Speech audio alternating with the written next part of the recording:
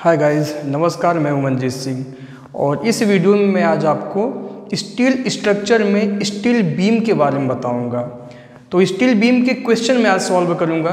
और अगर आपने इस चैप्टर का प्रीवियस लेक्चर नहीं देखा है तो पहले आप उसे देख लेंगे, जिससे आपको इस चैप्टर का जो कॉन्सेप्ट है, जो पूरा थ्योरी है, जो फॉर्मूले हैं, आपको वो अच्छे से समझ में आ जाए। फिर आप ये लेक्चर देखेंगे तो आपको अच्छे तरीके से समझ में आएगा। तो इसके लिए मैंने आपको एक अच्छा सा क्वेश्चन लाया हुआ है आज। स्टील बीम का बहुत ही अच्छा क्वेश्चन लाया हुआ है। एक ऐसा क्वेश्चन जिसमें तीन तीन क्वेश्चन मैंने दिया हुआ है आपको, ठीक है? तो क्वेश्चन पहले देखते हैं। I S M B five hundred has been use for effective span five metre एक I S M B section है, जो कि आई सेक्शन है। यहाँ पे लास्ट में बी लिखा है ना तो बी का मतलब क्या होता है? बीम सेक्शन और ये आई सेक्शन के रूप में ज़्यादा होता है आपका। तो ये बीम सेक्शन है एक प्रकार से। तो I S M B five hundred आपको ये सेक्शन दिया गया है, जो कि जिसका इफ़ेक्टिव स्पान फाइव मीटर है। एक ऐसा बीम जो कि I S M I S M B पाँच सौ का यूज़ किया गया है, और उसका इफ़ेक्टिव स्पान कितना है? पाँच मीटर है। Find super impose load on beam आपको क्या निकालना है? Super impose load. कि उस बीम के ऊपर कितना अध्यारोपित भार लगा हुआ है, कितना लोड, लाइव लोड लगा हुआ है, वो निकालना है निकालना है आपको इस तीन कंडीशन के लिए। तीनों कंडीशन दिया गया है। देखिए, जब भी एग्ज़ाम में क्वेश्चन पूछा जाएगा ना तो वो तीनों कंडीशन एक साथ नहीं दिया जाएगा। इनमें से कोई एक कंडीशन ही देगा आपको। ठीक है? तो मैंने क्या किया है कि एक ही क्वेश्चन लिखा हुआ है, उसी एक क्वेश्चन में तीनों कंडीशन लिख दिया हुआ है, जिस, जितने भी टाइप से क्वेश्चन आपको पूछे जाते हैं। तो पहला कंडीशन क्या है? The beam should be safe in bending यानी आपको वो सुपर इम्पोज लोड निकालना है, जिस पर ये बीम आपका बेंडिंग में सेफ़ हो। यानी कितना मैक्सिमम बेंडिंग उसका जो स्ट्रेस है, उस लोड को बियर कर सकता है। वो हमें यहाँ पे फाइंड आउट करना है। दूसरा क्वेश्चन है आपका the beam should be safe in shear कितना उस पर सुपर इम्पोज लोड आए कि बीम सियर में सेफ़ हो। यानी उसके अंतर्गत जो उसके अंदर सीयर स्ट्रेस है, उतना होना चाहिए कि उस सुपर इम्पोज लोड को बियर कर सके। थर्ड है आपका the beam should be safe in deflection और वो डिफ्लेक्शन में सेफ़ हो। ठीक है? तो ऐसा नहीं है कि हमें केवल एक ही सुपर इम्पोज लोड निकालना है और वो एक ही सुपर इम्पोज लोड ये तीनों के लिए क्या हो? सेफ़ हो। ऐसा नहीं है। यहाँ पे तीन क्वेश्चन दिए गए हैं। तो हमें देखिए, पहला कंडीशन क्या है कि आपको वो लोड निकालना है जो कि बीम बेंडिंग में सेफ़ हो और मैक्सिमम लोड को बियर कर सके। ठीक है? उसी प्रकार सियर में, उसी प्रकार डिफ्लेक्शन में। तो पहला कंडीशन के लिए हम क्वेश्चन सॉल्व करते हैं। सॉल्व क्वेश्चन नंबर ए के लिए। ठीक है? अब मैं आपको बता दूँ कि एक होता है आपका मैक्सिमम बेंडिंग स्ट्रेस, या कह सकते हैं परमिसिबल बेंडिंग स्ट्रेस। ठीक है? समझिए पहली चीज़ों को आप। तीनों कंडीशन के लिए पहले मैं बता दे रहा हूँ। पहला नंबर होता है परमिसिबल बेंडिंग स्ट्रेस। ठीक है? सेकंड होता है permissible shear stress and third होता है परमिसिबल डिफ्लेक्शन ठीक है? ये तो परमिसिबल होता है। परमिसिबल का मतलब होता है मैक्सिमम होता है। इससे ज़्यादा। देखिए बीम पे हमेशा इतना लोड नहीं लगाना चाहिए कि इससे ज़्यादा बेंडिंग स्ट्रेस हो, इससे ज़्यादा सीयर स्ट्रेस हो और इससे ज़्यादा डिफ्लेक्शन हो। इससे हमेशा कम होना चाहिए। परमिसिबल का मतलब होता है एक लिमिट कि उससे ज़्यादा कभी भी नहीं होना चाहिए। ठीक है? ये चीज़ आप पॉइंट याद रखेंगे हमेशा। तो अगर देखा जाए किसी भी बीम का जो परमिसिबल बेंडिंग स्ट्रेस होता है, वो कितना होता है? वो होता है zero point six six F Y और परमिसिबल सियर स्ट्रेस कितना होता है? 0.4 एफ़ वाई और परमिसिबल डिफ्लेक्शन कितना होता है? स्पान बाई 325 ये तो हो गया परमिसिबल आपका। अब लोड आपका कुछ भी हो सकता है। उस लोड के वजह से जो आपका एक्चुअल परमिसिबल बेंडिंग स्ट्रेस है। देखिए एक्चुअल बेंडिंग स्ट्रेस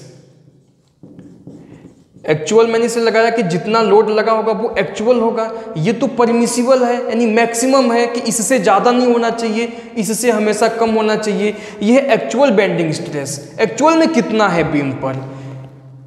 इसी प्रकार आप निकालेंगे एक्चुअल सीयर स्ट्रेस और इसी प्रकार आप निकालेंगे एक्चुअल डिफ्लेक्शन देखो एक्चुअल का मतलब ये होता है कि बीम पर एक्चुअल में कितना है और परमिसिबल का मतलब ये होता है कि कितना होना चाहिए। इससे ज़्यादा नहीं होना चाहिए। अगर इससे ज़्यादा हो गया एक्चुअल आपका तो वो आपका बीम फेल हो जाएगा। देखिए, अगर कभी भी एक्चुअल बेंडिंग स्ट्रेस जो बीम पे लगा हुआ है, वो परमिसिबल बेंडिंग स्ट्रेस से ज़्यादा हो जाएगा तो बीम बेंडिंग में फेल हो जाएगा। अगर आपका एक्चुअल सीयर स्ट्रेस का वैल्यू परमिसिबल सीयर स्ट्रेस से ज़्यादा हो जाएगा तो बीम सीयर में फेल हो जाएगा। अगर एक्चुअल डिफ्लेक्शन परमिसिबल डिफ्लेक्शन से ज़्यादा हो जाए तो आपका बीम जो है डिफ्लेक्शन में फेल हो जाएगा। मेन कॉन्सेप्ट समझिए आप। ये तो वो चीज़ है जो परमिसिबल मैंने लिखा हुआ है फॉर्मूला लिखा हुआ है, कि इससे ज़्यादा कभी भी नहीं होना चाहिए। हमेशा परमिसिबल का जो वैल्यू होता है, वो एक्चुअल से हमेशा ज़्यादा होना चाहिए। जब एक प्रकार से आप कह सकते हैं कि जो हमारा सेल्फ स्ट्रेंथ है, जो हमारा खुद का जो स्ट्रेंथ है, वो हमेशा ज़्यादा होना चाहिए कंपेयर टू जो हमारे ऊपर लोड लगा हुआ है। तभी तो सेफ़ रहेगा। अगर स्ट्रेंथ से ज़्यादा लोड लग गया, यानी हमारे पास जो स्ट्रेस है, उससे ज़्यादा अगर लोड लग गया तो क्या हो गया, हम फेल हो जाएँगे तुरंत। तो वही चीज़ यहाँ पर है, ये लिमिट है आपका। इससे ज़्यादा ये एक जो मैंने यहाँ वैल्यू लिखा हुआ है, ये आईएस कोड का वैल्यू है ये। आईएस कोड ऐसा कहता है कि परमिसिबल बैंडिंग स्ट्रेस 0.66 एफवाई से ज़्यादा नहीं होना चाहिए परमिसिबल सीयर स्ट्रेस 0.4 एफवाई से ज़्यादा नहीं होना चाहिए और किसी भी बीम का परमिसिबल डिफ्लेक्शन स्पान बाय 325 से ज़्यादा नहीं होना चाहिए। ये जो तीनों पॉइंट मैंने लिखा हुआ है, ये कंपिटेटिव एग्ज़ाम में बहुत ज़्यादा पूछता है। बहुत ज़्यादा वगैरह एग्ज़ाम में पूछता है। तो ये आप वैल्यू याद रखेंगे, ठीक है? अब यहाँ पर देखिए, जैसा जैसा स्टील का ग्रेड होगा, वैसा वैसा ये वैल्यू बदल सकता है आपका। अगर बात करें हम एफ़ ई ढाई सौ का केवल अगर एफ़ ई ढाई सौ के लिए परमिसिबल बेंडिंग स्ट्रेस देखा जाए तो कितना हो जाएगा? 0.66 point six six into F Y का वैल्यू ढाई सौ रखेंगे तो हो जाएगा एक सौ पैंसठ न्यूटन पर मिलीमीटर स्क्वायर अगर एफ़ ई ढाई सौ के लिए हम सीयर स्ट्रेस का वैल्यू निकालें तो 0.4 पॉइंट फोर इंटू ढाई सौ करेंगे तो ये हो जाएगा 100 न्यूटन पर मिलीमीटर स्क्वायर और स्पान बाय 325 ट्वेंटी फाइव यहाँ ग्रेड नहीं है, ये तो लेंथ पे डिपेंड करता है कितना लेंथ होगा उसके अकॉर्डिंग तो कई बार क्वेश्चन में क्या होता है ग्रेड नहीं देता है स्टील का. तो हम अपने से मान लेंगे कि माना एफ़ ई ढाई सौ ग्रेड के लिए देखा जाए तो एक प्रकार से आपको वैल्यू याद कर लीजिए इस चीज़ को, क्योंकि आपके इस चैप्टर में जितने भी क्वेश्चन दिए गए हैं, वो सारे क्वेश्चन जो है एफ़ ई ढाई सौ के लिए ही दिया गया है। ठीक है? वैसे मैंने फॉर्मूला आपको बता दिया गया है। बता दिया है कि कैसे ये वैल्यू निकालते हैं। एफ़ वाई के फॉर्म में मैंने फॉर्मूला आपको बता दिया है कि zero point six six F Y होता है 0.4 पॉइंट फोर एफ़ वाई होता है। लेकिन अगर ग्रेड बदलेगा तो आप ये वैल्यू बदल लेंगे। आपको याद होना चाहिए। लेकिन इस चैप्टर में आपको जितने भी क्वेश्चन मिलेंगे ना, वो सब एफ़ ई ढाई सौ के लिए ही मिलेंगे। तो आप ये वैल्यू याद भी कर सकते हैं। कि परमिसिबल बैंडिंग स्ट्रेस जो आपका होता है 165 न्यूटन पर मिलीमीटर स्क्वायर होता है। यानी इससे ज़्यादा मतलब इससे कम जो है, आपका ये मैक्सिमम है। ये आपका मैक्सिमम इससे ज़्यादा नहीं होता है। जो भी एक्चुअल लोड आपका एक्चुअल बेंडिंग स्ट्रेस आएगा, वो हमेशा 165 से कम ही होना चाहिए। अगर ये एक्चुअल बेंडिंग स्ट्रेस 165 से ज़्यादा होगा तो आप कहेंगे कि आपका ये बेंडिंग में सेफ़ नहीं है। कई बार क्वेश्चन ऐसे भी आएगा आएगा कि वहाँ पूछेगा कि बताइए, क्या ये बेंडिंग में सेफ़ है कि नहीं? सीयर में सेफ़ है कि नहीं, डिफ्लेक्शन में सेफ़ है कि नहीं तो आप वहाँ पर ऐसे ही वैल्यू निकालेंगे आप परमिसिबल बेंडिंग स्ट्रेस याद कर लीजिए 165 है, फिर एक्चुअल बेंडिंग स्ट्रेस निकालिए और ये वैल्यू अगर 165 से कम होगा तो आप कहेंगे कि सेफ़ है और अगर ज़्यादा होगा तो कहेंगे सेफ़ नहीं है। इसी प्रकार ये दोनों भी हैं आपका, ठीक है? तो परमिसिबल शियर स्ट्रेस कितना होता है आपका? 100 न्यूटन पर मिलीमीटर स्क्वायर ये दोनों वैल्यू आप याद रखेंगे हमेशा। बेंडिंग स्ट्रेस कितना होगा? 165 शियर स्ट्रेस कितना होगा? 100 ये आपका परमिसिबल है। ठीक है? और ये जो एक्चुअल है आपका, इससे ज़्यादा कभी भी नहीं होना चाहिए आपका। तो मैं आपको बता दूँ कि एक्चुअल बेंडिंग स्ट्रेस कैसे निकालते हैं? ये तो वैल्यू हो गई आपको याद करने वाली। ये तीनों वैल्यू आप कैसे निकालेंगे? इसके फॉर्मूले मैं यही आपको बता दे रहा हूँ। एक्चुअल बेंडिंग स्ट्रेस निकालते हैं आप। इसको हम डिनोट करते हैं। एफ़ से स्ट्रेस होता है बी से बेंडिंग होता है। तो बेंडिंग स्ट्रेस हो गया, और यहाँ पे लिख दीजिए एक्चुअल तो ये हो गया एक्चुअल बेंडिंग स्ट्रेस इसका फॉर्मूला होता है मूवमेंट अपान में section modulus Z X X इस फॉर्मूले से आप हमेशा बीम का एक्चुअल बेंडिंग स्ट्रेस निकालेंगे। एक्चुअल सियर स्ट्रेस की बात अगर हम करें तो कैसे निकालेंगे? स्ट्रेस बराबर होता है फोर्स अपान में एरिया यानी shear force shear force upon में सीयर एरिया इस फॉर्मूले से आप क्या निकालेंगे? एक्चुअल सीयर स्ट्रेस निकालेंगे। और डिफ्लेक्शन कैसे निकालेंगे? डिफ्लेक्शन के लिए आपको फॉर्मूला मालूम है कि अगर सिंपली सपोर्टेड बीम अगर मान लीजिए दिया गया है और उस पर यूडियल लगा है तो क्या होता है? अगर हम यूडीएल की बात करें और सिंपली सपोर्टेड बीम की बात करें केवल तो डिफ्लेक्शन का फॉर्मूला होता है पाँच बटे तीन सौ चौरासी डब्ल्यू एल की पावर फोर अपान में ई आई ये फॉर्मूला होता है। वैसे यहाँ जितने भी क्वेश्चन दिए गए हैं ना, वो सब यूडीएल वाले ही क्वेश्चन हैं और सब सिंपली सपोर्टेड बीम के ही क्वेश्चन हैं। तो आप ये फॉर्मूला डिफ्लेक्शन का याद कर लीजिए, पाँच बटे तीन सौ चौरासी डब्ल्यू एल की पावर फोर अपान में ई आई तो आप कैसे एक बार मैं फिर से कॉन्सेप्ट बता रहा हूँ। अगर क्वेश्चन में ये पूछता है कि आप बताइए कि क्या बीम बेंडिंग में सेफ़ है कि नहीं सीयर में सेफ़ है कि नहीं डिफ्लेक्शन में सेफ़ है कि नहीं, आप क्या काम करेंगे? आप ये तीनों वैल्यू निकाल लेंगे। ये वैल्यू आपको याद है कि permissible bending stress 165 permissible shear stress 100 और ये है डिफ्लेक्शन एल का वैल्यू स्पान का वैल्यू रख के निकाल लेंगे। ठीक है? उसके बाद आप निकालेंगे एक्चुअल बेंडिंग स्ट्रेस इस फॉर्मूले से। सीयर स्ट्रेस निकालेंगे एक्चुअल इस फॉर्मूले से और डिफ्लेक्शन निकालेंगे इस ये जो तीनों वैल्यू आएगा, वो तीनों वैल्यू इन तीनों वैल्यू से ज़्यादा नहीं होना चाहिए। हमेशा कम होना चाहिए। अगर कम है तो सेफ़ है अदरवाइज़ अनसेफ है। बात समझ आई आपको? तो देखिए, एक बार फिर इससे इस पर चर्चा करते हैं हम आपको। जब आप निकालेंगे actual bending stress m upon Z X X M क्या है? बेंडिंग मूवमेंट है मैक्सिमम बेंडिंग मूवमेंट है। तो मूवमेंट का फॉर्मूला आप जानते हैं सिंपली सपोर्टेड बीम और यूडियल के लिए क्या होता है? W L square by eight अगर पॉइंट लोड लगा हुआ है सिंपली बीम है तो क्या हो जाएगा? डब्ल्यू एल बाई फोर लेकिन यहाँ आपको जितने भी क्वेश्चन मिलेंगे, वो सारे क्वेश्चन आपको यूडियल वाले मिलेंगे और सिंपली सपोर्टेड बीम वाले मिलेंगे। तो आप फॉर्मूला याद रखेंगे W L square by eight ठीक है? वैसे बहुत से ऐसे लेक्चर हैं जिसमें मैंने केवल फॉर्मूले ही ये सब बताया हुआ है आपको। सोम में भी मैंने आपको बताया हुआ है कि पॉइंट लोड में कौन सा फॉर्मूला यूज़ करते हैं यूडियल में क्या होता है कैंटिलीवर में क्या होता है, दो सब कुछ बताया हुआ है वहाँ पे आपको। तो और जेड एक्स क्या है? यह सेक्शन मॉडुलस ये कहाँ से आप निकालेंगे? ये वैल्यू आप निकालेंगे स्टील टेबल से देख लेंगे। स्टील टेबल में आपको जेड एक्स का वैल्यू मिल जाएगा। मैं आपको एक चीज़ और बता दूँ, ये फॉर्मूला बना कहाँ से है? देखिए, हम लोग सोम में पढ़े हैं जो बेंडिंग इक्वेशन होता है। बैन इक्वेशन क्या होता है? M upon I is equal to F upon Y सब लोग जानते हैं इस फॉर्मूले को। यहाँ से एफ़ इज़ इक्वल टू क्या होता है? एफ़ इज़ इक्वल टू हो जाता है एम इंटू वाई अपान में I F is equal to M upon में आई ये वाई नीचे ले लेंगे Y F is equal to M upon I upon Y को क्या बोलते हैं? सेक्शन मॉडुलस बोलते हैं आपको। तो क्या होता है? जेड ठीक है? लेकिन बीम के केस में हमेशा मूवमेंट ऑफ़ इनर्सिया जो होता है और सेक्शन मॉडुलस होता है, वो एक्स एक्स के एक्सिस के अबाउट में हमेशा लेते हैं। तो इसलिए यहाँ पर क्या होता है? आई एक्स एक्स हो जाता है बीम के केस में और ये जेड एक्स एक्स हो जाता है। तो एफ़ इज़ इक्वल टू क्या हो गया? एम अपान में जेड एक्स एक्स यहाँ से ये फॉर्मूला बन गया। और ये स्ट्रेस का फॉर्मूला स्ट्रेस का फॉर्मूला आप जानते हैं shear force upon shear area होता है। जब सीयर स्ट्रेस निकालेंगे तो सीयर फोर्स अपॉन में सीयर एरिया हो जाएगा।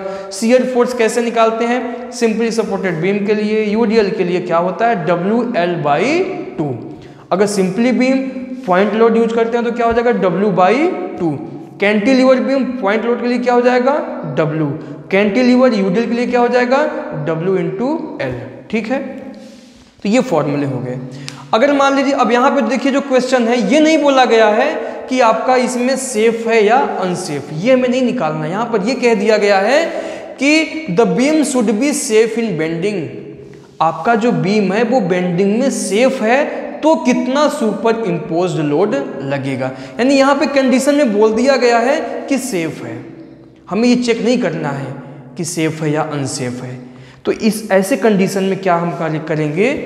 परमिसिबल और एक्चुअल दोनों को इक्वल लेके सॉल्व करेंगे। क्योंकि आपका जो एक्चुअल का ये वैल्यू है, इसके इक्वल अगर आता है तो भी आपका सेफ़ है, या कम आता है, तब भी सेफ़ है। तो जब यहाँ कंडीशन जो दिया गया है कि आपका ये सेफ़ है तो हम क्या काम करेंगे? Permissible bending stress actual bending stress के इक्वल लेके चलेंगे। Permissible shear stress actual shear stress के इक्वल लेके चलेंगे और डिफ्लेक्शन जो है आपका, वो एक्चुअल डिफ्लेक्शन के इक्वल लेके चलेंगे तो तीनों कंडीशन से हमें सुपर इम्पोज लोड यहाँ से मिल जाएगा। बात समझ में आई? चलिए स्टार्ट करते हैं। वैसे मैंने आपको इस तीनों क्वेश्चन का पूरा कॉन्सेप्ट बता दिया है। यही कॉन्सेप्ट आपका जो है केवल इसी क्वेश्चन के लिए नहीं, बल्कि इस चैप्टर के सभी क्वेश्चन के लिए लागू होगा आपका। अगर आपको बस इतना सा समझ में आ गया तो इस चैप्टर के सभी क्वेश्चन आप सॉल्व कर सकते हैं। पहला कंडीशन में आ जाइए। अब एक तो एक बात तो ये काम मान लेंगे कि एफ़ ढाई सौ यूज़ किया गया है। जब क्वेश्चन में नहीं दिया गया तो एफ़ ढाई सौ आप मान के चलेंगे। ठीक है? तो क्वेश्चन नंबर ए स्टार्ट करते हैं, और जो भी स्टील टेबल से वैल्यू लेना होगा, वो हम स्टील टेबल से ले लेंगे, उसी समय ले लेंगे। फ्रॉम स्टील टेबल चलिए जो आवश्यकता पड़ेगी उस समय हम लोग ले लेंगे, ठीक है? तो सबसे पहला नंबर हम सॉल्व करते हैं। मैंने आपको बताया कि यहाँ पर permissible permissible bending stress is equal to actual bending stress ये लेके चलेंगे हम यहाँ पर। जब पहले से कंडीशन दे दिया जाए कि दोनों सेफ़ है, ये नहीं पूछा गया कि सेफ़ है कि अनसेफ है तो हम क्या करेंगे? दोनों को इक्वल लेके चलेंगे। इक्वल लेने पर भी क्या होता है? आपका बीम बेंडिंग में सेफ़ रहेगा। इक्वल पे भी सेफ़ रहता है। अब देखिए परमिसिबल बेंडिंग स्ट्रेस का वैल्यू कितना मैंने आपको बताया?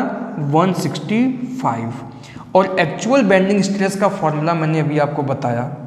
क्या बताया? वैसे एक बार हम लोग सिंबल यूज़ कर लेते हैं, चलिए। सिंबल क्या है?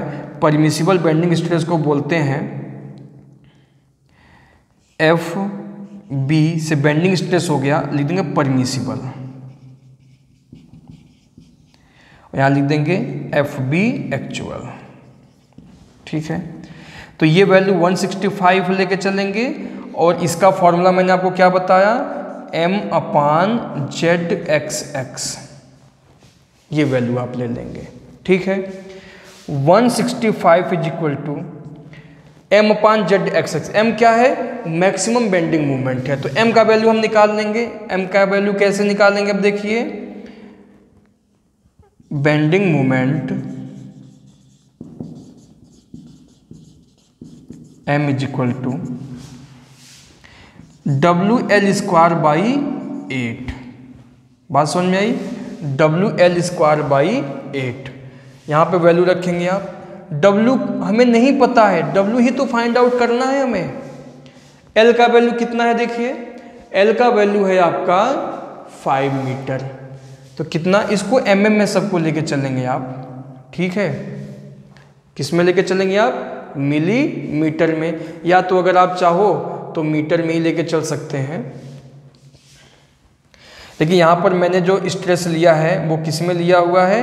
न्यूटन पर मिलीमीटर स्क्वायर में तो एम एम में लेके चलिए। एल का वैल्यू कितना है आपका? फाइव थाउज़ेंड का स्क्वायर बाई एट सॉल्व करेंगे, कितना हो जाएगा ये?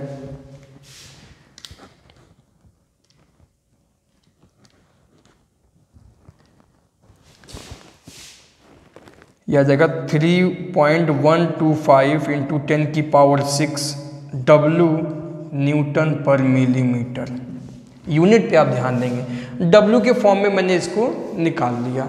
तो एम का वैल्यू किसमें रखेंगे? डब्लू के फॉर्म में रख देंगे। Three point one two five into ten की पावर सिक्स और डब्लू अपान में जेड एक्स एक्स तो स्टील टेबल से आप क्या वैल्यू ले लेंगे? Z X X steel table से हम ले लेंगे तो जेड एक्स एक्स का वैल्यू देखो, मैं स्टील टेबल से आपको बता रहा हूँ। आई एस एम बी पाँच सौ के लिए जेड एक्स एक्स का जो वैल्यू है, वो दिया गया है one eight zero eight point seven one eight zero eight point seven centimetre cube में दिया गया है। इसे मिलीमीटर क्यूब में बना लेंगे तो क्या हो जाएगा? One eight zero eight point seven into ten की पावर थ्री मिलीमीटर की पावर थ्री। तो ये हो गया जेड एक्स एक्स का वैल्यू। यहाँ पे रख लेंगे। One eight zero eight point seven into ten की पावर थ्री। अब देखो, इस इक्वेशन में क्या अननोन है? केवल डब्ल्यू अननोन है और डब्ल्यू का वैल्यू आप निकाल सकते हैं। बात समझ में आई कि नहीं आपको? फिर से समझिए, हमें क्या करना है? Permissible bending stress is equal to actual bending stress कर दिया। परमिसिबल बेंडिंग स्ट्रेस आप 165 याद कर लीजिए, फिर ढाई के लिए होता है। और एक्चुअल बेंडिंग स्ट्रेस का formula M upon Z X X होता है। और एम का वैल्यू आप कैसे निकालेंगे? W L square by eight से निकालेंगे। डब्ल्यू के टर्म्स में निकाल लेंगे। और जेड एक्स एक्स का वैल्यू है जो आप स्टील टेबल से देख के लिख लेंगे। अब यहाँ से डब्ल्यू का वैल्यू आप निकाल लेंगे। तो क्या हो जाएगा डब्ल्यू आपका?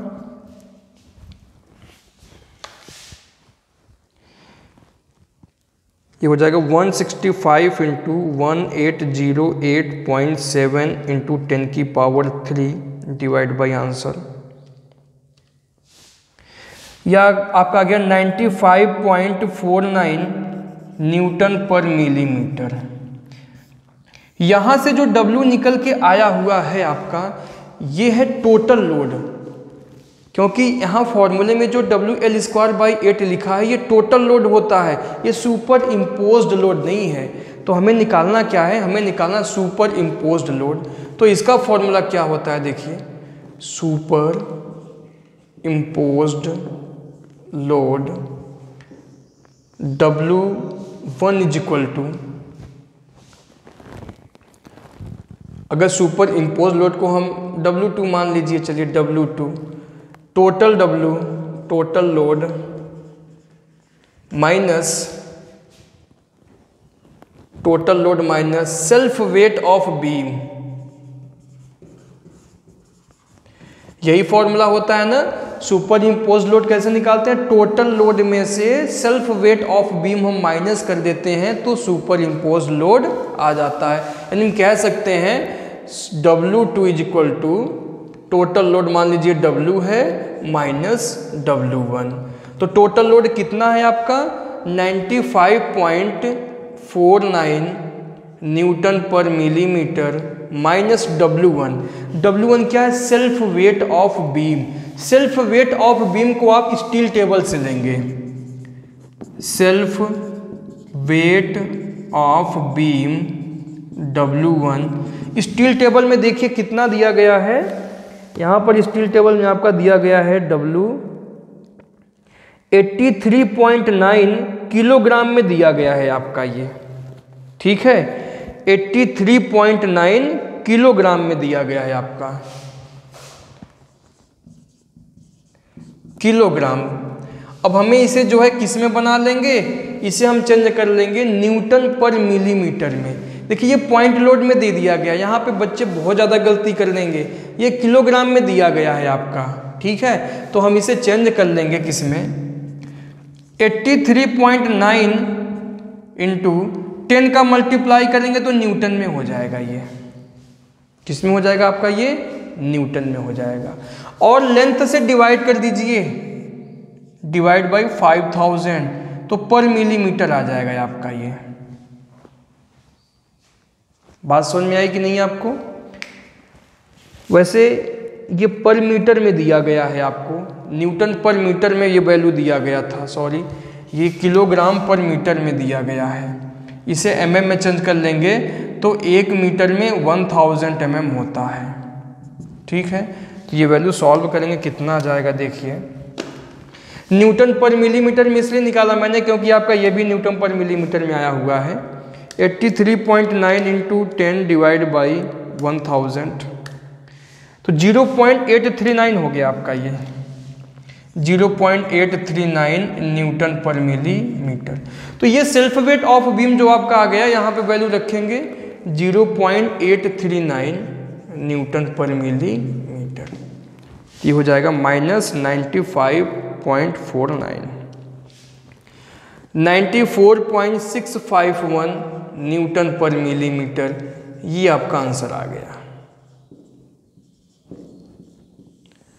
बात समझ में आई? तो देखिए, आपको स्टील टेबल से क्या क्या वैल्यू लेना होगा? एक तो जेड एक्स एक्स का वैल्यू लेना होगा, और दूसरा सेल्फ वेट ऑफ़ बीम ये दो वैल्यू लेना होगा। तो देखिए, हमें सुपर इम्पोर्टेंट क्वेश्चन में पूछा गया था, बहुत ही आसानी से मैंने सॉल्व कर लिया। ठीक है? तो मैं आशा करता हूँ कि आपको बहुत अच्छे से समझ में आ गया होगा। बहुत ज़्यादा टफ ये क्वेश्चन नहीं है। ठीक है? चलिए अब हम स्टार्ट करते हैं सेकेंड कंडीशन इसका जो है। सेकेंड कंडीशन क्या है? तो सेकेंड कंडीशन है the beam should be safe in shear ठीक है? The beam should be safe in shear अब यहाँ से स्टार्ट करते हैं, चलिए। अब देखिए जेड एक्स का वैल्यू स्टील टेबल यहाँ इस क्वेश्चन में तो इसकी आवश्यकता पड़ गई तो मैंने ले लिया। अब आगे चल के देखेंगे किसका ज़रूरत पड़ता है, ठीक है?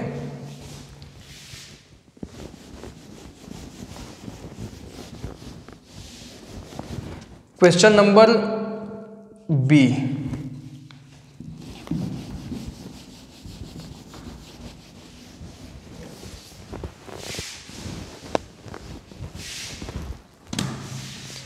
बी में क्या क्या निकालेंगे? The beam should be safe in shear तो यहाँ पे हम सॉल्व करेंगे परमिसिबल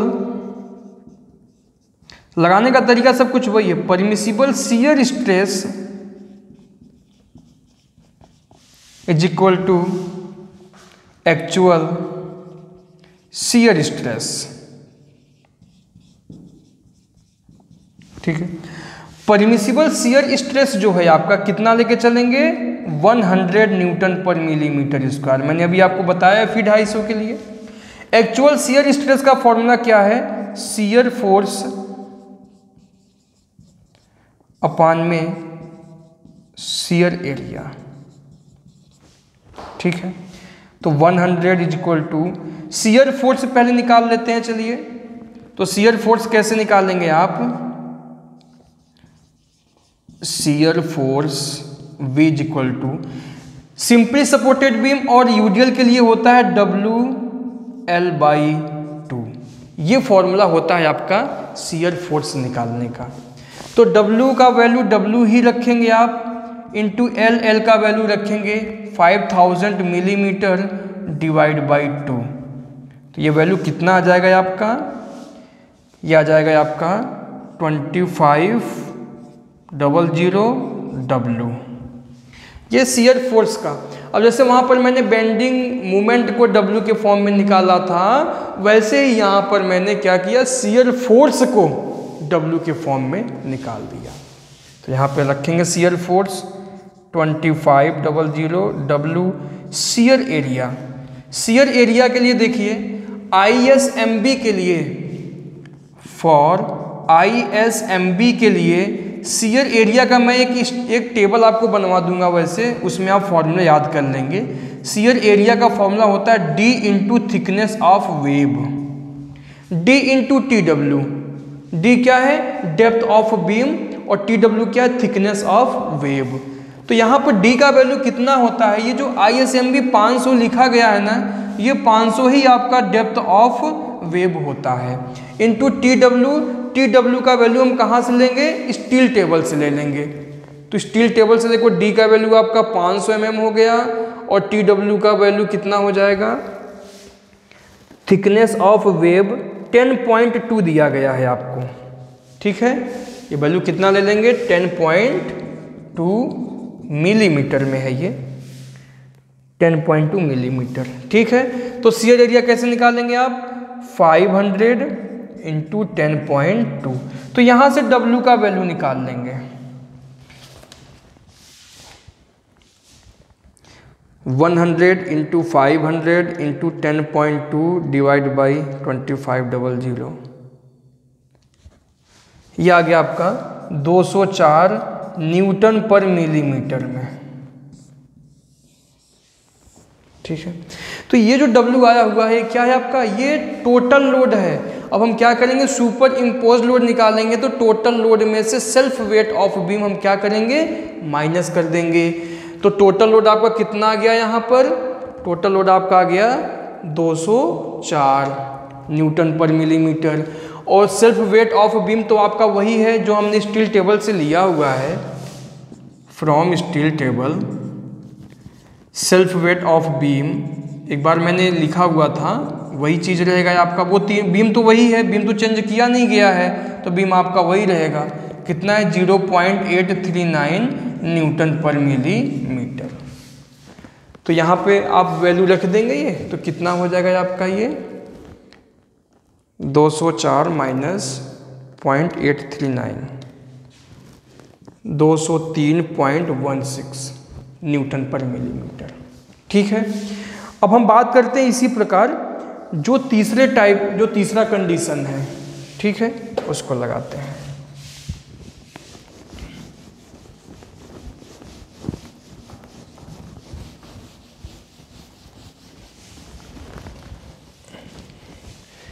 तीसरा कंडीशन है the beam should be safe in deflection deflection में जब सेफ़ है तो यहाँ भी वैसे सॉल्व करेंगे। Permissible deflection is equal to actual deflection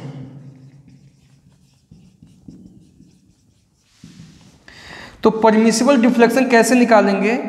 span by 325 actual deflection का फॉर्मूला पाँच बट्टी तीन सौ चौरासी डब्ल्यू एल की पावर फोर अपान में ई आई ठीक है? ये सिंपली सपोर्टेड बीम के लिए है जब यूडीएल लगा होता है। स्पान का वैल्यू 5000 मिलीमीटर सबको मिलीमीटर में लेके चलना, जिसे आप गलत न करें।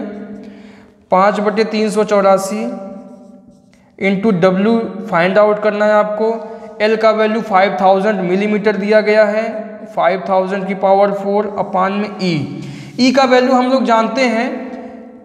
यंग मॉडुलस है। स्टील के लिए टू इंटू टेन की पावर फाइव न्यूटन पर मिलीमीटर स्क्वायर होता है। ये वैल्यू हम सब लोग को पता है। ठीक है? तो ई e का वैल्यू रखेंगे टू इंटू टेन की power five into I I यहाँ पे हमेशा आई एक्स एक्स लेते हैं। तो आई एक्स एक्स हम कहाँ से ले लेंगे? स्टील टेबल से ले लेंगे। तो स्टील टेबल से आई एक्स एक्स का वैल्यू देखिए दिया गया है। पैंतालीस दो सौ अठारह पॉइंट थ्री पैंतालीस, दो सौ अठारह पॉइंट थ्री और इसका यूनिट दिया गया है मिलीमीटर की पावर फोर में। तो यहाँ वैल्यू रख देंगे। Four five two one eight point three. यहाँ से W का वैल्यू हम निकाल लेंगे सॉल्व करके। क्या हो जाएगा आपका? Five thousand into three eight four into two into ten to the power five into four five two one eight point three divide by three twenty five into five into five thousand की power four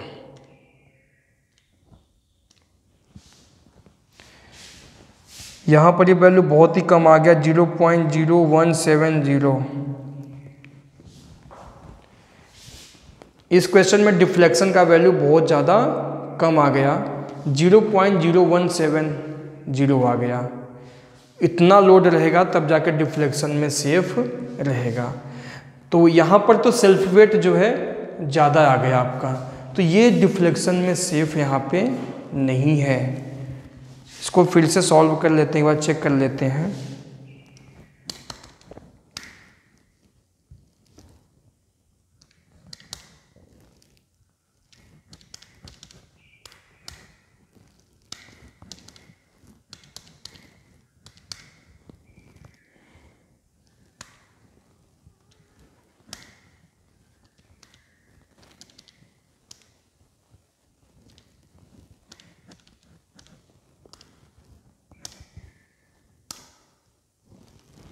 steel table से value एक बार वो check कर लेते हैं इसका। I x का वैल्यू मिलीमीटर में ही दिया गया है।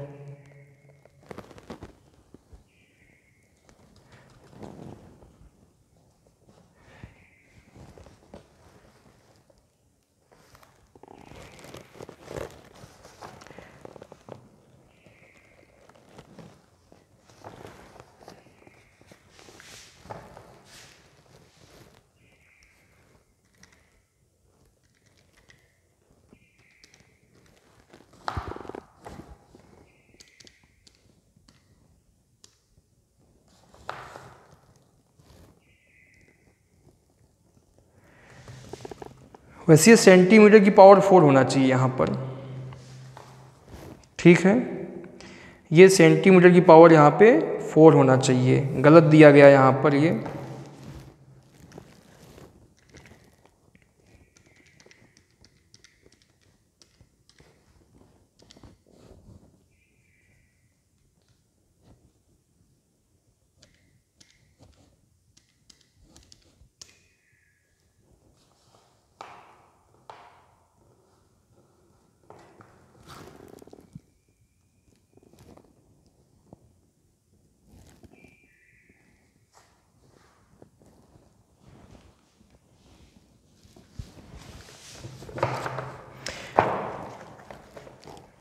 स्टील टेबल का वैल्यू हो सकता है गलत दिया गया हो इसमें यूनिट का।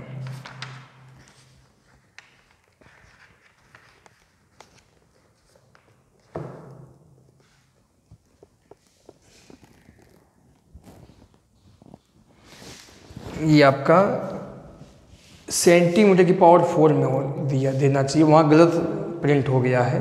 तो जब मिलीमीटर में बनाएँगे तो क्या होगा? टेन की पावर फोर का मल्टीप्लाई हो जाएगा, ठीक है? जब इसे एम एम में चेंज कर, क्या हो जाएगा? Four, five, two, one, eight, point three into ten की पावर फोर मिलीमीटर की पावर फोर। तो ये वैल्यू कितना हो जाएगा आपका? फिर ये वैल्यू आपका हो जाएगा point zero one seven zero into ten की पावर फोर। वन सेवेंटी हो जाएगा फिर आपका ये। ठीक है? न्यूटन पर मिलीमीटर। अब ये वैल्यू आप यहाँ रख देंगे। ये क्या है आपका? टोटल लोड है। तो यहाँ रखेंगे कितना? 170 170 में माइनस करेंगे। पॉइंट एट थ्री नाइन तो one sixty nine point one six one तो इस प्रकार आपका सुपर इम्पोज लोड निकल गया। ये तीन टाइप के क्वेश्चन आपको एग्ज़ाम में आ सकता है। और ऐसा नहीं कि तीनों एक साथ दे देगा। जब भी देगा, कोई एक देगा। ठीक है? तो मैंने जानबूझ के ये तीनों कंडीशन का एक ही क्वेश्चन में बता दिया, क्योंकि ये तीनों क्वेश्चन अलग अलग से लिखता तो इसमें कोई फ़ायदा नहीं था। एक ही क्वेश्चन लिख के मैंने तीन कंडीशन लिख दिया, और आपको बहुत अच्छे से समझ में आ गया होगा।